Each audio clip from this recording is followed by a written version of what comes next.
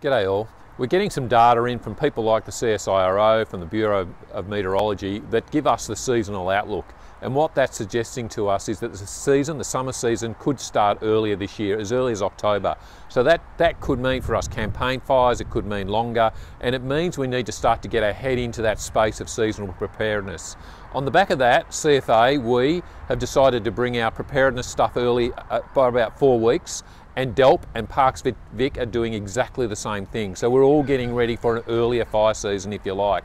So now is the time, and we'll do it more formally with you. So this is just a heads up that you know we're going to be asking that all crews do the burnover drills. We're going to be asking that there is some hazard tree stuff out this year that we want all crews to do to make sure there's safety on the fire ground. But we will be doing some operational preparedness. We'll be checking IMTs. We'll be checking that MOUs are in place. We'll be checking everybody from headquarters, the chief officer's role, to our partner agencies, municipalities, all, all ready for the coming fire season. So this is the heads up.